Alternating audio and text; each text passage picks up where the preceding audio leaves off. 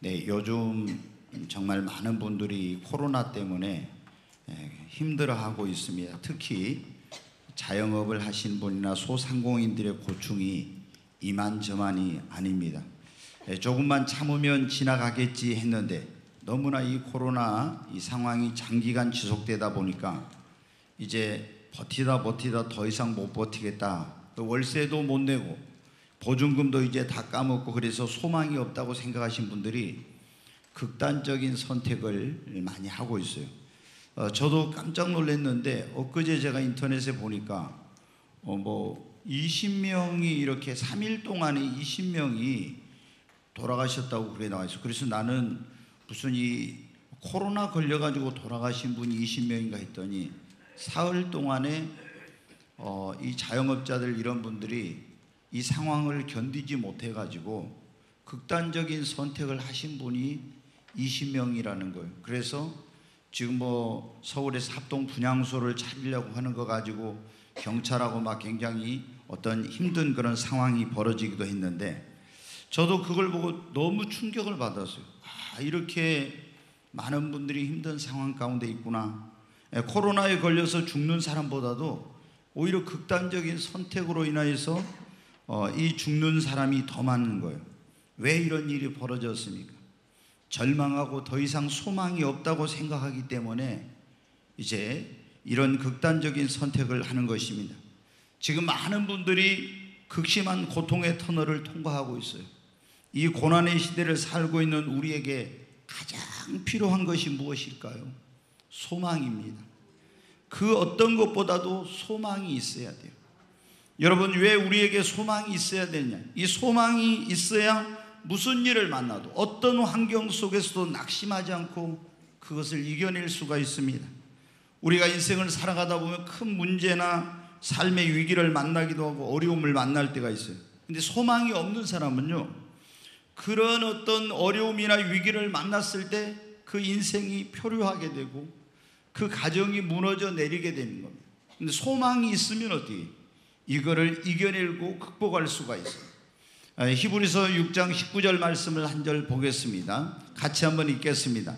우리가 이 소망을 가지고 있는 것은 영혼의 닭 같아서 튼튼하고 견고하여 휘장 안에 들어가는 여기 보면 우리가 이 소망을 가지고 있는 것은 영혼의 닭 같다 이렇게 하고 있습니다. 영혼의 닭. 여러분 다시 뭘 한지 아시죠? 저는 섬에서 태어나 가지고 또 섬에서 어린 시절을 보내서 배를 이렇게 어, 항구 이렇게 이제 이 그 가까이 이렇게 이 대놓는다고 그래요. 정박을 시키면은 그 배들을 어떻게 돼? 바람이 불거나 태풍이 불거나 물결에 휩쓸려 가지 않도록 어, 닷을 주고 거기다가 밧줄을 묶어 가지고 배를 이렇게 묶어 놓습니다. 그러면 이 다시 튼튼하면은 아무리 태풍이 불어와도 이 배가 떠내려가거나 전복하거나 뭐 표류하거나 이렇게 되질 않아요. 근데 이 다시 약하면은 배가 나중에 보면 어때요? 사라지고 없는 거예요. 그 이제 다시 밀려가지고 닷줄이 이게 튼튼하지 못해서 이런 문제가 생긴 거예요. 근데 오늘 여기 말씀에 보면은 이 소망은 우리 인생을 살아가는 모든 사람들에게 영혼의 닭과 같다는 거예요. 그러니까 소망이 어떤 역할을 해주냐? 아무리 우리 인생의 어떤 세찬 시련의 바람, 환란의 바람, 우리 인생의 어떤 어려움이 닥쳐와도 이 소망을 가지고 있으면 그 소망이 내 인생이 표류하지 않도록 내 가정이 무너지지 않도록 이 소망이 나를 지탱시켜주고 붙들어준다고 하는 거예요. 근데 만약에 우리에게 이런 소망이 없다면 어때요? 그 인생은 무너지고 그 가정도 무너지고 그 인생이 방황하게 되고 이런 인생이 되고 마는 것입니다. 여러분, 그래서 우리에게 무엇보다도 소망이 있어야 돼요. 소망이 있어야만 어떤 고난과 시련도 이길 수가 있어요. 고난과 시련이 올 때 소망이 없으면 못 이깁니다. 2차 세계대전 때 독일의 히틀러가 유대인을 600만 명 이상을 이제 그런 어떤 죽였어요. 근데 유대인을 죽일 때 가스실에 집어넣어 가지고 죽인 경우도 있고 포로 수용소에다 수용을 해 가지고 영양실조 이와 빈대 막 이런 것 속에서 질병으로 죽어가는 사람들이 있었어요. 그런데 2차 세계대전 지나고 나서 코르텐 붐이라고 하는 그 크리스찬이 글을 썼는데 거기에 보면은 그 엄청난 포로 수용소의 영양 실조와 그리고 이와 빈대와 질병 속에서도 죽지 않고 그것을 이겨낸 사람들은 어떤 사람이야? 내일에 대한 소망을 가진 사람들이었어요.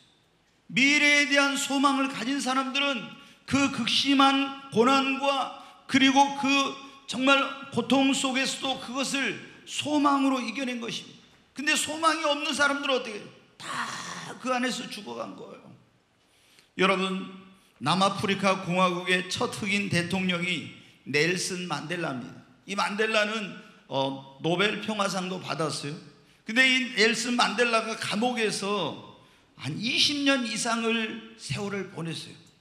많은 사람들이 원래 이제 남아공은 어떤 나라냐면 흑인들이 거의 이제 그 국민의 대부분인데 유럽에서 이제 그 어, 건너간 백인들이 얼마 되지 않는 그 백인들이 그게 이제 주류 사회를 이루고 그리고 모든 이제 그 경제와 정치와 이런 걸 다 장악해 가지고 백인 통치 그런 나라였어요. 그런데 이제 흑인들이 민주화를 위해 자유를 위해서 백인들하고 막 싸웠습니다. 반체제 인사로 찍힌 넬슨은 어, 감옥에 들어가서 20년 이상 감옥 생활을 했어요. 아마도 거기서 이 사람은 죽을 거라고 생각했습니다. 그런데 20년 이상 감옥 살이하고 나온 넬슨 만델라를 보니까 너무나 건강한 거예요. 깜짝 놀랐습니다. 나중에 대통령까지 됐는데 어떻게 이렇게 했는가 알아보니까 이 사람의 마음 속에 그 감옥 안에 있으면서도 소망이 있는 거예요, 소망이. 이 나라에 대한 내일에 대한 그런 소망이 있는 거예요. 그러니까 어떻게 돼요? 그런 고통스러운 그 어려움을 다 극복할 수가 있었던 것입니다. 여러분 성경에 보면 요셉은 자기 형제들에 의해서 팔려가지고 애굽으로 갔습니다. 노예 시장에서 또 팔려가지고 보디발의 집으로 가고 거기서 또 어느 정도 인정을 받는 것 같았지만 또 보디발의 아내에 의해서 감옥에 들어가게 되었어요. 여러분 거기서 나올 희망이 전혀 없었습니다. 이런 어떤 낯설고 물서른 이국 땅에 팔려가지고 종이 되고 노예가 되고 죄수가 되었습니다. 그런데도 요셉은 실망하지 아니했습니다. 그것은 그에게 하나님께서 주신 찬란한 미래에 대한 소망이 그 마음 속에 있었기 때문입니다. 여러분 초대교회 성도들도 엄청난 핍박과 환란 속에서도 믿음을 지킬 수 있었던 것은 뭐냐? 내가 죽어도 다시 산다는 부활의 소망, 그리고 하나님의 나라인 천국에 대한 소망이 있었기 때문에 그런 모든 환란과 핍박을 이겨내고 믿음을 지킬 수가 있었던 것입니다. 여러분, 우리에게 소망이 있으면 인생의 어떤 고난과 시련도 이겨낼 수 있습니다. 여러분들 안에도 정말 소망이 있으시기를 바랍니다. 소망이 있어야 행복한 인생을 살 수 있습니다. 소망이 없는 사람은요, 죽은 인생이나 마찬가지입니다.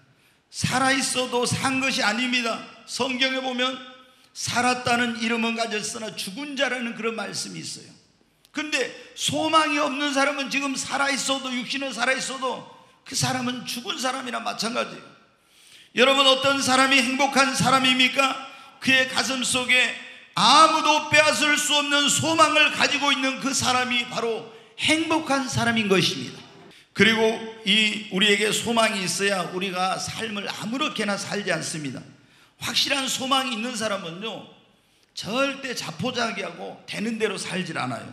요셉이 감옥에, 아니, 보디발의 집에 팔려가고 그 감옥에 들어갔어도 자포자기하지 않고 정말 보디발의 아내가 막 유혹하는데도 그 범죄하지 않고 이렇게 된 것은 무엇 때문이냐? 그의 마음 속에 하나님 주신 소망이 있었기 때문에 그런 거예요. 그래서 막 살지 않은 거예요. 여러분 소망이 없는 사람들 보십시오. 어떻게 합니까? 가서 날마다 술로 자신의 인생을 막 고통을 잊어버리려고 하면서 이렇게 지내는 거예요. 아무렇게나 사는 거예요. 그러나 자기의 마음 속에 소망이 있는 사람은 절대 그렇게 살라게도 못 살아요. 여러분, 그래서 요한일서 3장에 보면 이런 말씀이 있습니다. 한번 보겠습니다. 같이 읽습니다. 주를 향하여 이 소망을 가진 자마다 그의 깨끗하게 것 같이 자기를 깨끗하게 하느니라. 여기 보면 주를 향하여 주님을 다시 만날 소망, 천국의 소망을 가진 사람은 그의 깨끗하심 같이 자기를 깨끗하게 한대요. 왜 거룩하신 주님을 배우려니까 그 거룩한 하나님의 나라인 천국에 들어가려니까 이 천국의 소망을 가지고 있고 다시 오실 주님에 대한 소망을 가진 사람은 죄 짓고 살지 않는다는 거예요.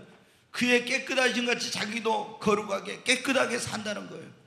여러분, 소망이 있는 사람은 열심히 삽니다. 소망이 있는 사람은 최선을 다합니다. 오늘 이 자리에 오신 여러분에게 소망이 있습니까? 어떤 소망이 있으세요? 소망도 성경에 보면 산 소망과 죽은 소망이 있습니다. 어떤 사람은 소망이 있는데 썩은 동아줄 같은 것을 붙들고 이것이 소망이라고 생각하면서 살아가고 있어요. 여러분, 썩은 동아줄은 언제 떨어질지 모르는 것처럼 이런 소망을 가지고 여러분 살아가는 것은 위험한 것입니다. 우리는 참된 소망을 가져야 될 줄로 믿습니다. 여러분, 우리는 어디에다 소망을 두고 무엇에 소망을 두고 살아야 됩니까? 여러분, 하나님께 소망을 두십시오. 예수 그리스도께 소망을 두시기를 바랍니다. 시편 42편은 다윗의 시라고 말합니다. 근데 다윗이 이 시를 쓸 때 어떤 상황이었냐? 아들 압살롬이 반역을 해 가지고 자기를 죽이려고 하니까 그 왕궁에서 얼마나 급했던지 맨발로 뛰쳐나와 가지고 소수의 그런 신하들을 데리고 도주를 한 거예요. 피난길에 올랐어요.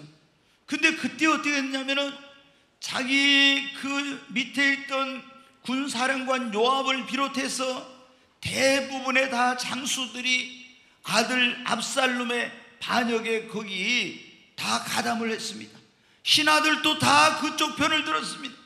그리고 이 민심, 국민들의 민심이 다 압살롬에게 가버리고 자기는 몇몇 되지 않는 사람들을 데리고 이제 내 신도 못 신고 야반 도주를 해가지고 도망쳐 있는데 언제 이 압살롬이 보낸 군인들이 와서 자기를 죽일지 모르는 이런 불안한 상황이요.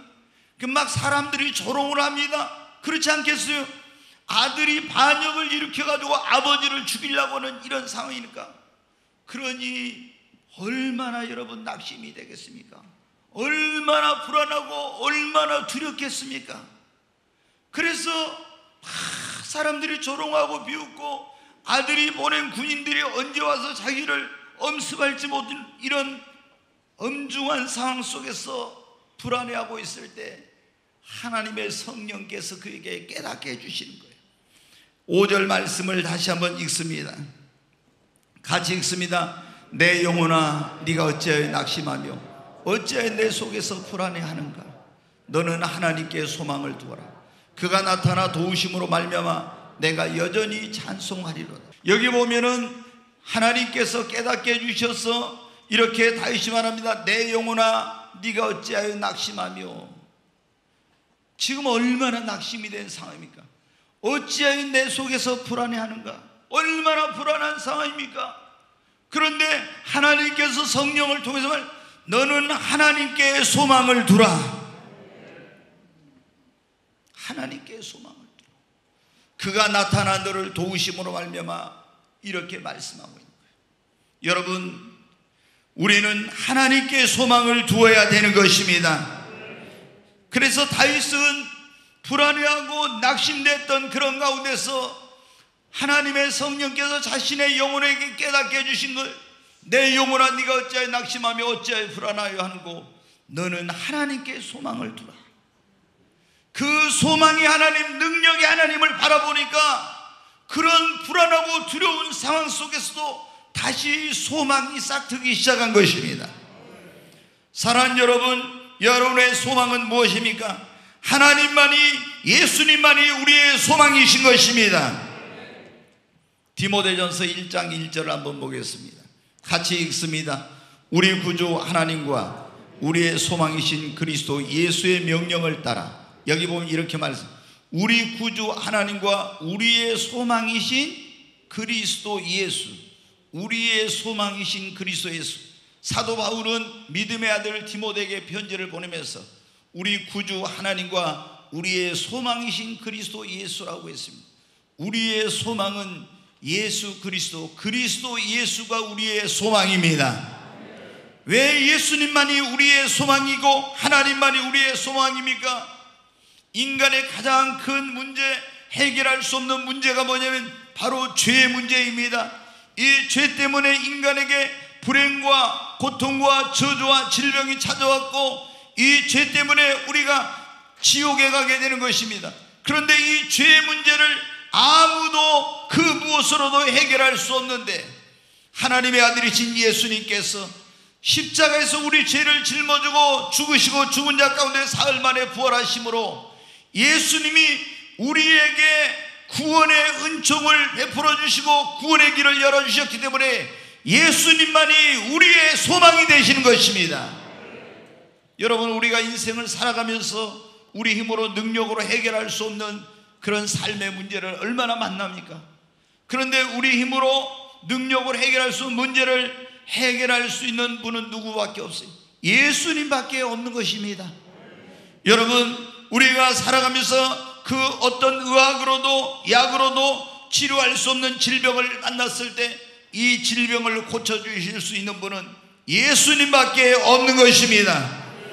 나의 그런 어떤 운명을 바꿔주시고 내 불행한 인생을 축복된 인생으로 바꿔주실 수 있는 분, 그분도 살아계신 하나님, 그리고 그 아들 예수 그리스도밖에 여러분 없는 것입니다.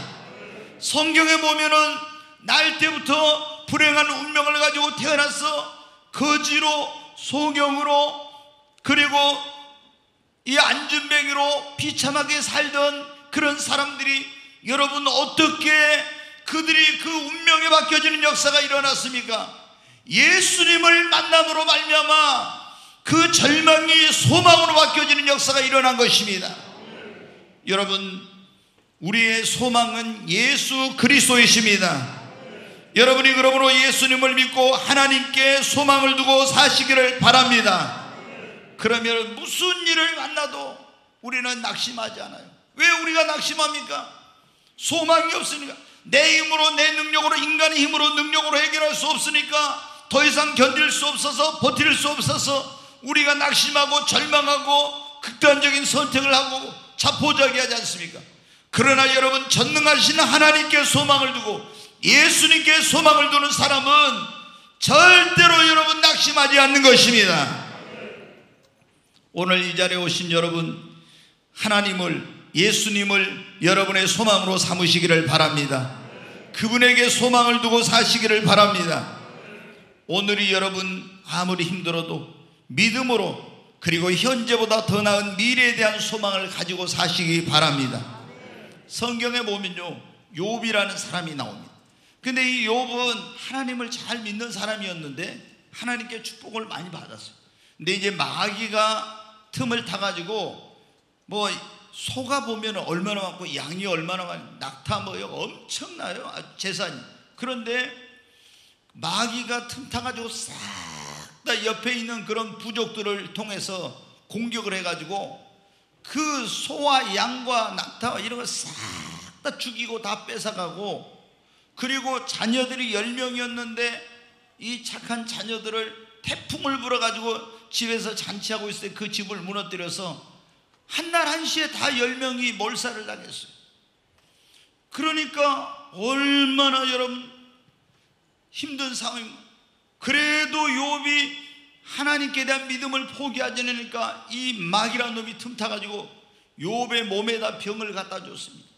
머리부터 발끝까지 성한 데 없이 이 가려움증 막 기와를 깨가지고 긁고 막 잠을 잘려도 잘 수도 없고 얼마나 고통스러운지.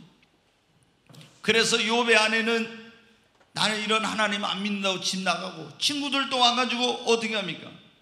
이놈아 네가 하나님 믿으면서 죄를 많이 지었으니까 이런 벌을 하나님께 받는다고 하는데 이게 얼마나 힘든 상황입니까?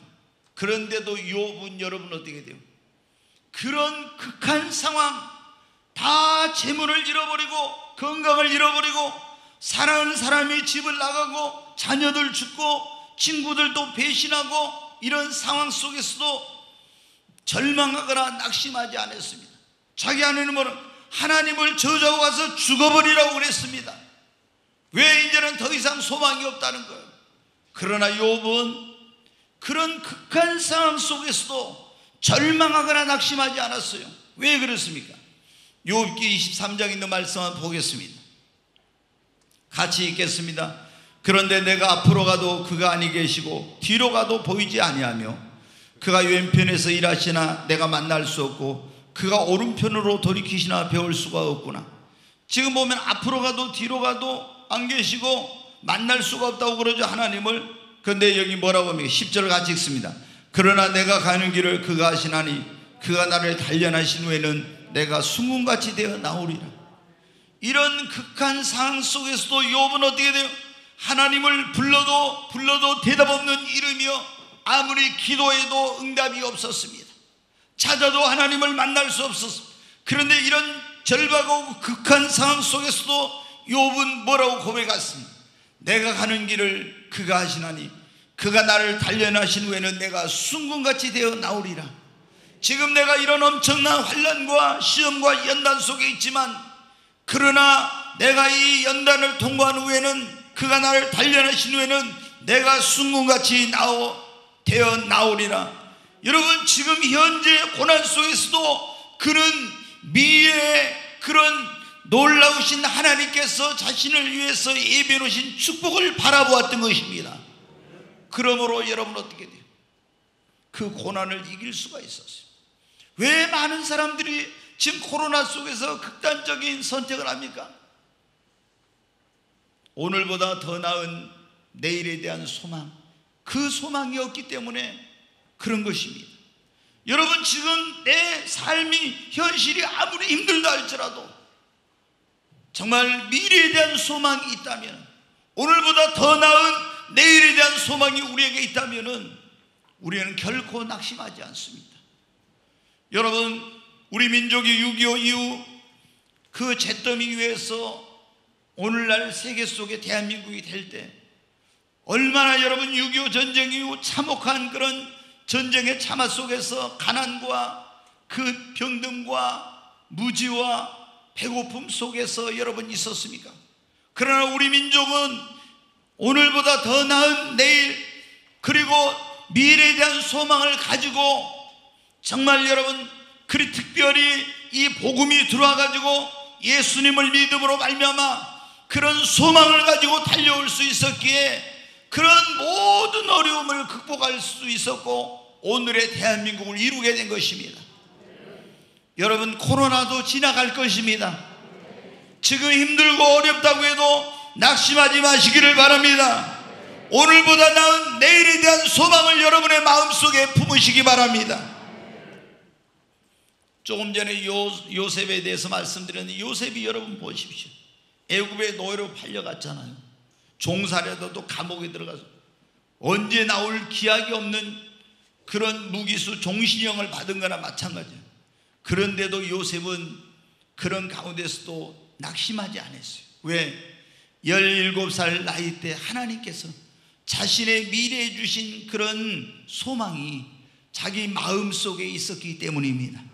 여러분, 우리의 마음 속에 오늘 아무리 내가 힘들고 어려워도 더 나은 내일에 대한 더 밝은 미래에 대한 소망이 있다면 어떤 어려움도 이길 수 있습니다. 여러분, 아무리 오늘이 힘들고 어려워도 믿음으로 현재보다 더 나은 미래에 대한 소망을 여러분 마음속에 품으시기를 바랍니다. 여러분, 주님은 네 믿음대로 될 것이라고 했습니다. 지금의 고난, 지금 고난 가운데 계신 분들은 낙심하지 말고 더 나은 미래에 대한 소망을 갖고 이겨내시기를 바랍니다. 예수 믿는 우리에게 하나님께서 고난을 허락하신 것은 여러분 장차 우리에게 더 큰 복을 주시려고 이런 고난을 주신 거예요. 이것을 통해서 우리를 연단하고 훈련하고 더 큰 축복을 받게 합당한 그릇을 만들려고 이 고난을 허락하신 것입니다. 그러므로 여러분이 지금 힘들어도 낙심하지 말고 소망을 가지시기를 바랍니다. 성경에 보면요, 하나님은 우리에게 더 큰 복을 주시려고 할 때 꼭 먼저 어떻게 합니까? 그 복을 받을 수 있는 그릇을 만들어요. 근데 그 그릇을 어떻게 만드냐? 고난을 통해서, 환란을 통해서, 시련을 통해서 우리를 빚어가지고 하나님의 예배하는 축복을 받게 했던 그릇을 만들어. 그래가지고 때가 되면 그릇이 되면 하나님이 우리에게 그 만들어진 그릇에다 축복을 담아 주시는 겁니다.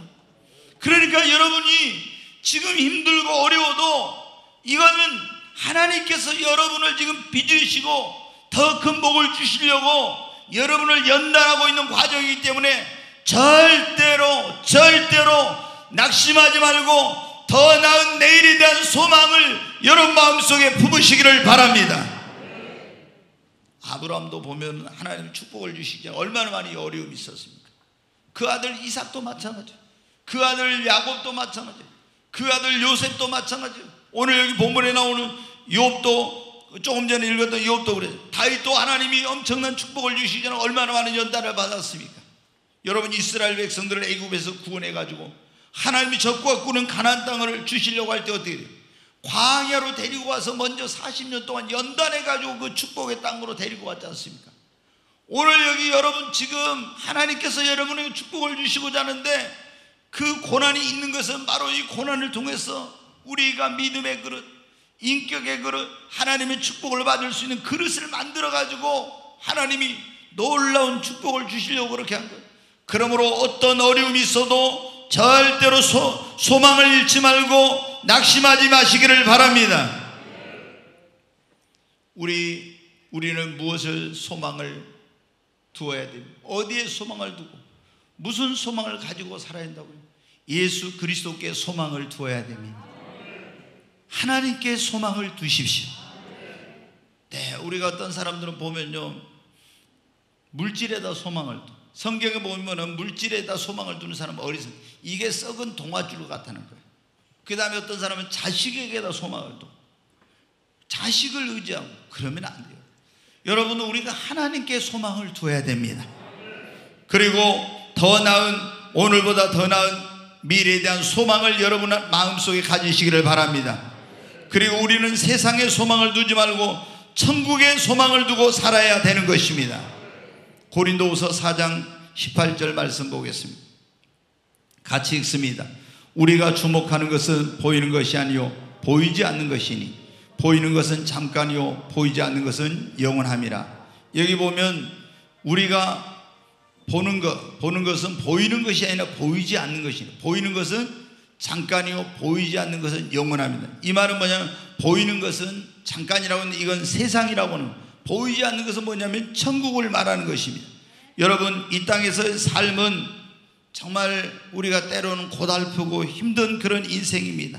그러나 우리는 하나님께서 이 나그네 삶 여기서 행인과 순례자와 같은 삶을 끝난 우리에게 예비해 놓으신 이별이 없고 슬픔이 없고 질병이 없고 고통도 눈물도 죽음이 없는 한 나라가 있습니다. 천국입니다. 여러분 정말 우리가 이 세상에서 아무리 잘 산다고 해도 100년을 넘기기가 어렵죠. 지금은 이제 100세 시대라고 그래요. 그렇지만 여러분 어떻게 인생이 얼마나 허무하고 얼마나 짧은 인생인지 몰라. 그리고 인생의 이 삶의 여정 속에는 시련과 어려움의 과정들도 얼마나 많이 있는지 몰라요. 그런데 이 인생이 전부라면 얼마나 허무합니까? 그런데 죽음 이후에 하나님께서 우리를 위해서 예비 놓으신 여러분 하나님의 나라인 천국이 기다리고 있습니다. 이 세상에 소망을 두는 사람은요, 천국에 소망이 없는 사람은 나이가 먹고 늙어 점점 이렇게 죽음의 날에 가까우면요, 완전히 소망이 없어요. 아무런 희망이 없어. 그러나 예수님을 믿고 구원받은 사람, 천국의 소망을 가진 사람은요, 늙어도 소망이 있어요. 그래서 이 고린도 우서에 보면 그런 말씀. 우리의 겉사람은 후패 하나 속은 날로 새롭도다. 나이가 너무 우리 겉은 늙어갈 수밖에 없죠. 그럼 늙으면은 천국에 소망이 없는 사람은요 얼마나 여러분 허전하고 인생이 진짜 아무런 어떤 의미가 없는 거예요. 그러나 우리 겉사람이 후패하고 이렇게 해도 늙어가도 천국의 소망을 가진 사람은 여러분 낙심하지 않습니다. 여러분 지금 많은 분들이 오늘 일부 예배 드리고 고향에 간 분도 있고 또 고향에 가실 분들 계실 거예요. 그러나 우리의 영혼의 본향은 저 천국입니다. 우리 믿음의 선지들은 어떻게 살았습니까? 자, 히브리서 11장 있는 말씀 한번 보겠습니다. 같이 읽습니다. 이 사람들은 다 믿음을 따라 죽었으며 약속을 받지 못하였으되 그것들을 멀리서 보고 환영하며 또 땅에서는 외국인과 나그네임을 증언하였으니 그들이 이같이 말하는 것은 자기들이 본향 찾는 자임을 나타냅니다. 그들이 나온 바 본향을 생각하였더라면 돌아갈 기회가 있었으려니와 그들이 이제는 더 나은 본향을 사모하니 곧 하늘에 있는 것이라. 그러므로 하나님이 그들의 하나님이라 일컬음 받으심을 부끄러워하지 아니하시고 그들을 위하여 한 성을 예비하셨느니라. 여기 보면 그들이 이제는 더 나은 본향을 사모하니 고향에 돌아갈 기회가 있었는데 안 돌아가고 하늘에 있는 본향을 사모하고 살았대요. 이게 누구냐면 아브라함과 이삭과 야곱을 말해요 근데 이 아브라함과 이삭과 야곱이 그 어, 얼마 기간 동안 함께 할아버지, 아버지, 손주가 같이 산 적도 있었어요. 근데 그들이 세상에서 얼마나 크게 성공을 했어. 하나님께 얼마나 많은 축복을 받았어. 그래서 고향이 갈대아우로 돌아갈 수 있었어요. 근데 본향, 고향으로 돌아가지 않고 뭐라고 해요? 그들이 이제는 더 나은 본향을 사모했대. 어디에요? 하늘에 있는 거. 천국의 소망을 두고 그 천국을 바라보면서 살았다는 거예요. 이 땅에서 살 때는 때 외국인과 나그네서 언젠가 우리는 이 세상을 떠나서 우리의 영원한 고향인 천국으로 가야 돼. 그러면서 천국의 소망을 가지고 그날에 갈 준비를 하면서 살았다고 하는 것입니다. 여러분, 그래서 하나님이 그들의 하나님이라 일컬음을 부끄러워하지 않으시고 그들을 위해 한 성, 새 예루살렘 성을 예배해 놓으셨대요. 여러분, 여러분도 이 정말 불안전하고 불확실하고 항상 인생에 어떤 시련과 어려움이 많은 이 세상에다 여러분이 소망을 두고 여기에다 여러분이 막 천년 만년 살 것처럼 그렇게 쌓아놓고 투자하고 이렇게 하지 말고 여러분의 영원한 본향은 하나님의 나라인 천국입니다. 천국의 소망을 가지십시오. 여러분 이 소망을 가지고 사는 것이 얼마나 중요한지 누가 보면 16장에 보면요 부자와 거지 나사로가 나와요 근데 이 부자는 부유해가지고 날마다 잔치하고 호화로운 그런 어떤 옷, 좋은 집에서 자색 고운 배옷을 입고 잘 먹고 잘 살았어요 그런데 그 집 앞에 와서 구걸하던 이 거지는 병 들었는데 병원에 갈 돈도 없어. 치료받지 못하고 개들이 와서 상처난 것을 막 핥고 이런데 그런데 이 거지는 어떻게 돼요? 천국의 소망을 가지고 살았어요. 천년만년 살 것 같은데 어느 날 이 거지 나사로가 죽었습니다. 아마 어디 이름 없는 사람인지라 사람들이 어디서 죽었는지 모르니까 공동묘지 같은 데 갔다가 그냥 묻어줬을 거예요. 그런데 부자가 죽었을 때는 어떻게 거창한 장례 행렬이며 얼마나 많은 사람들이 조화를 보내고 조사를 하고 애도해 했을 겁니다. 그런데 여러분 어떻게 했습니까? 이 땅에나 소망을 가지고 살았던 부자는 죽었을 때 지옥에 대해 있는 음부의 불꽃 가운데 떨어졌습니다. 그러나 이 세상에서 병들고 가난하고 정말 의지할 것 없었던 이 거지 나사로는 하나님을 믿고 예수님을 믿고 천국에 소망을 가지고 살았던 나사로는 어떻게 했습니까? 이 세상을 영원히 떠나자 믿음의 조상 아브라함의 품에 낙원에 안겼습니다. 여러분, 우리는 과연 이 세상을 떠난다고 하면 내 영혼은 어디로 가겠습니까? 여러분 예수 그리스도를 믿고 여러분이 세상에 소망을 두지 말고 천국의 소망을 두고 사시기를 바랍니다. 이 삶을 보면요. 어디다 소망을 두고 사는가 이걸 삶을 보면 딱 알아요. 천국의 소망을 두는 사람은 내가 영원히 가서 살아야 되고 그곳을 가기 위해서 준비를 해. 그런데 이 땅에다 소망을 두는 사람은 이 땅의 것에만 집착을 해요. 그러니까 어디다 소망을 두고 사느냐가 그 사람의 삶을 결정하게 되는 거예요. 여러분, 초대교회 성도들이 그렇게 엄청난 박해를 받고 예수 안 믿으면 박해를 받을 필요가 없죠. 죽을 필요가 없어요. 화형당할 필요가 없고 맹수의 그 원형 경기장에 가서 밥이 될 필요가 없고 재산을 몰수도 이럴 필요가 없어요. 그러나 그들이 이런 엄청난 환란과 박해 속에서도 믿음을 잃지 않고 그 고난을 극심한 고난을 참고 견딜 수 있었던 것은 천국의 소망을 가졌기 때문이에요. 여러분, 여러분의 소망은 어디에 있습니까? 여러분은 어떤 소망을 가지고 있습니까? 우리는 우리의 마음속에 세 가지 소망. 하나님께 대한 예수 그리스도께 대한 소망을 가져야 됩니다. 두 번째로 오늘 아무리 힘들어도 믿음으로 오늘보다 더 나은 내일에 대한 미래에 대한 소망을 가지시기를 바랍니다. 그리고 이 땅에 소망을 두지 말고 천국에 소망을 두고 사시기를 바랍니다. 그러면 우리가 어떻게 하면 이런 소망을 가질 수 있습니까? 예수 그리스도를 믿고 영접하면 예수님은 우리의 인생의 소망이 되어 주십니다. 여러분 성경에 보십시오. 절망 속에 있던 사람들이 다 예수님 앞에 나오면 어떻게 돼요? 절망이 희망으로 바뀌어졌습니다. 예수 안에는 절망이 없습니다.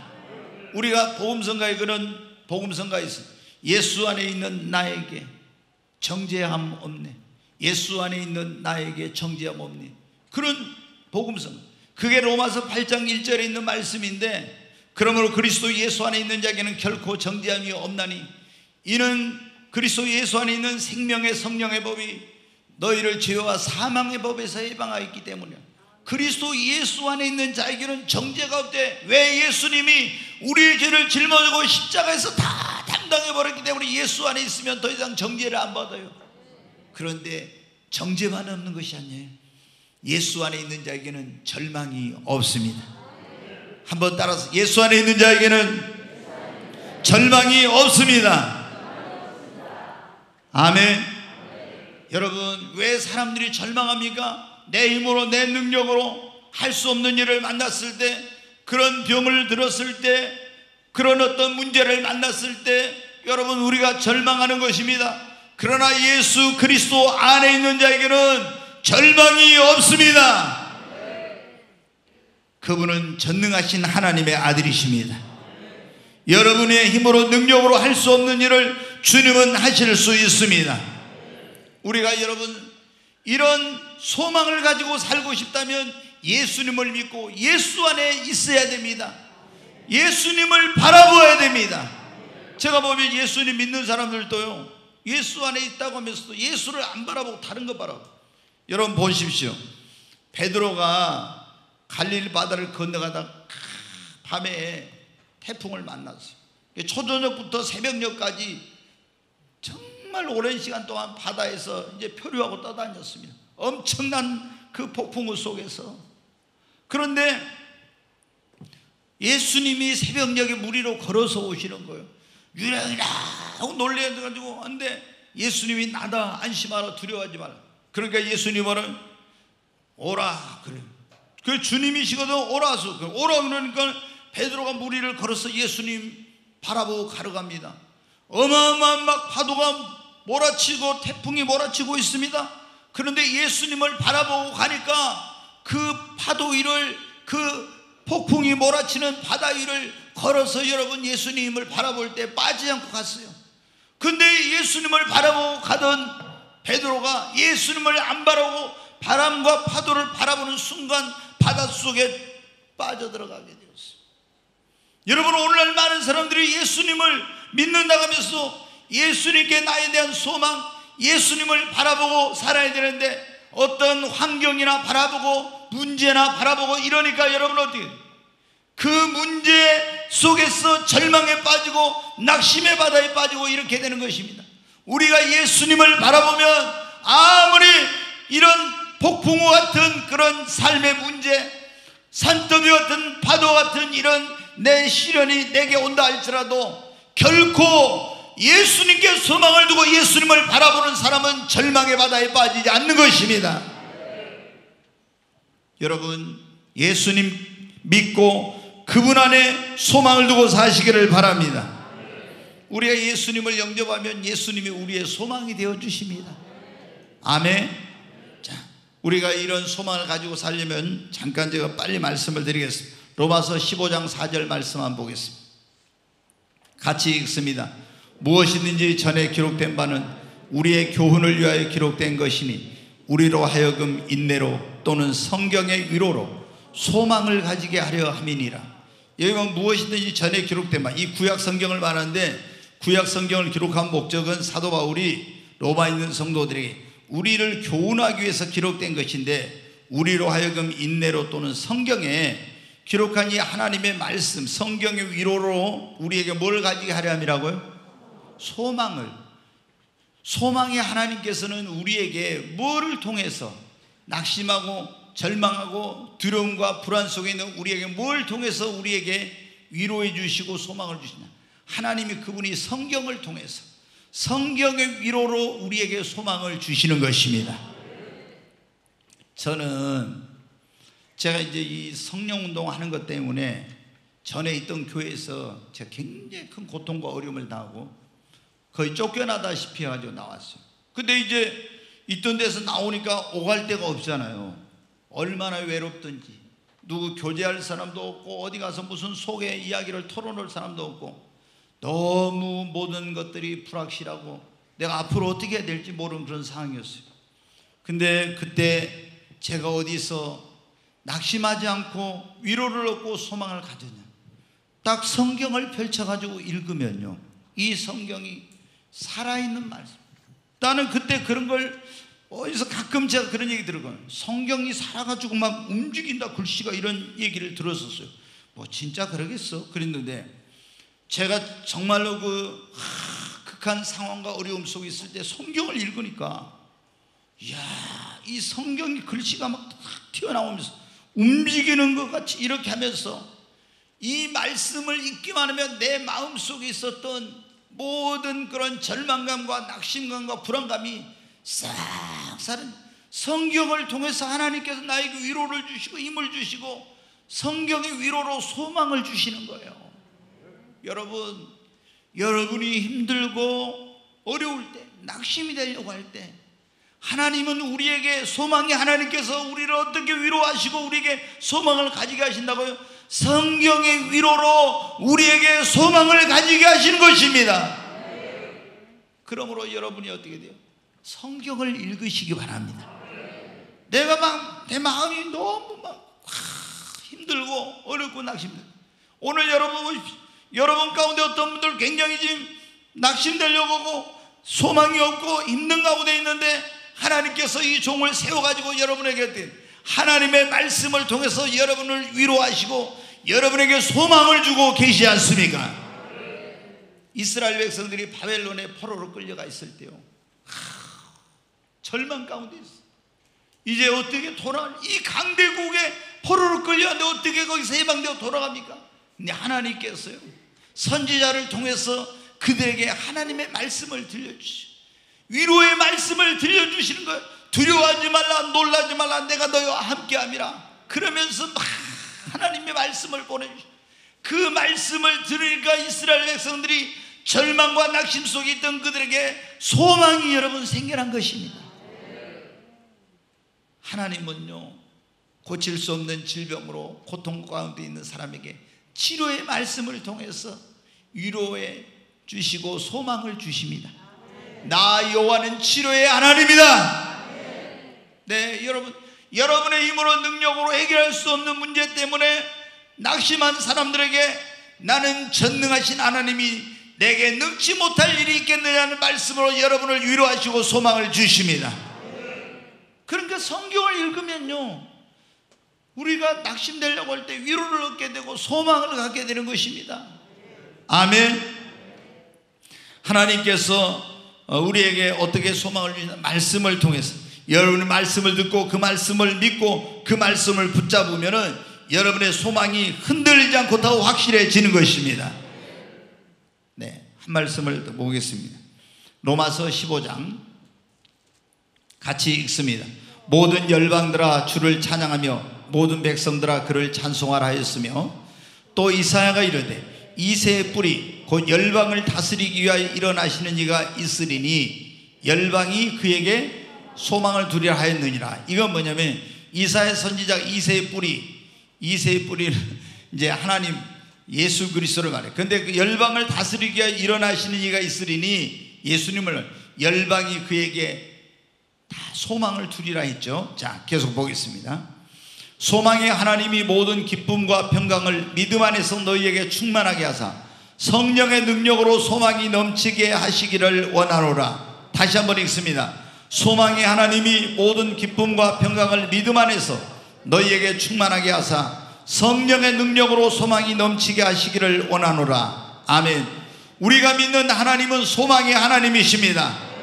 그 소망의 하나님이 모든 기쁨과 평강을 믿음 안에서 너희에게 여러분에게 충만하게 하사 성령의 능력으로 소망이 넘치게 해 주신다고 말씀하고 있습니다. 여러분 하나님께서 우리에게 소망을 주시는데 어떻게 소망? 성령의 능력으로 우리 안에 소망이 넘치게 하신다고. 아멘. 자, 이 경험을 안 해본 사람들은 몰라. 어떤 경우에 우리가 있잖아요. 이제 환경 때문에 뭐 때문에 막 문제 때문에 절망하고 낙심하려고 하는데 성령을 충만하게 딱 받으면요. 성령 충만함을 받으면은 절망하고 낙심했던 내 마음 속에 성령으로 말미암아 엄청난 확신이 생기면서 아 고칠 수 없는 놈이 고쳐지겠구나 문제가 해결되겠구나 하면서 이제는 성령으로 말미암아 엄청난 위로와 소망이 내 마음 속에 넘쳐버리게 돼. 그러니까 여러분 보면 가끔 보면 그런 분들이죠. 아니 저 사람 지금 자기 처지를 보면은 어디서 저런 웃음이 나와? 아니 어떻게 살 수 있을까? 그런데 여러분 어떻게 돼요? 성령 충만한 사람은 다른 사람이 이해할 수 없어. 그런 극한 상황 속에서도 낙심하지 않아요. 왜? 하나님께서 성령의 능력으로 그 안에 소망을 넘치게 해주시기 때문입니다. 여러분 성령 충만하면요 소망이 충만합니다. 정말 여러분 예수님을 믿어도 여러분이 성령 충만하지 못하면 조금만 어려운 일을 만나도 낙심될라 하고 실망하고 절망에 빠지는 것입니다. 그러나 여러분의 마음 속에 하나님의 성령으로 충만하게 되면 성령의 능력으로 하나님이 여러분의 마음에 소망을 넘치게 해주시는 것입니다. 그러므로 여러분, 이 고난의 시대를 살고 있는 여러분, 여러분이 소망을 잃지 않고 살기를 원하면 성령의 충만함을 받으시기를 바랍니다. 하나님은 성령의 능력으로 여러분의 마음속에 소망을 넘치게 주실 것입니다. 진짜 성령 충만해 본 사람만이 알 수 있어요. 성령 충만해 본 사람. 아무리 극한 상황 환경을 만나도요. 성령 충만하면 기쁨 충만, 소망 충만해요. 아멘. 하나님은 성령의 능력으로 우리 안에 소망이 넘치게 하신다 했잖아요. 그래서 여러분 모두가 성령 충만함을 받으시기 바랍니다. 한 가지만 더 말씀을 드리고 마치 그리고 우리가 절망 가운데 낙심되려고 할 때 기도하면 절망은 소망으로 바뀌어집니다. 여러분이 항상 소망을 갖고 살기를 원하면 예수님을 믿고 주님 안에 거하시고 말씀을 늘 가까이 해야 돼. 이 말씀을 읽어야 돼. 이 말씀을 통해서 하나님 우리를 위로하시고 소망을 주시고 성령 충만함을 받아야 돼. 성령 충만할 때 소망이 충만하게 되고 성령 충만할 때 하나님께서 성령을 통해서 그 능력을 통해서 우리에게 소망이 넘치게 해주시고 그리고 절망 가운데 있을 때 절망하지 말고 기도하면 하나님은 절망을 소망으로 바꿔주십니다. 히스기야가 죽을 병이 들어서 이제 유언하라고 며칠 못 살게 생겼어요. 절망적입니다. 모든 상황이. 그런데 하나님께 기도하니까 그 절망을 소망으로 바꿔주셨어요. 나라가 아수르의 공격을 침략을 받아가지고 모든 나라가 다 점령당하고 수도만 이제 포위된 가운데 항복하라는 협박을 받고 있습니다. 절망 가운데 있지만 하나님 앞에 성전에 올라가서 기도했더니 하나님께서 절망을 소망으로 바꿔 주셨습니다. 여러분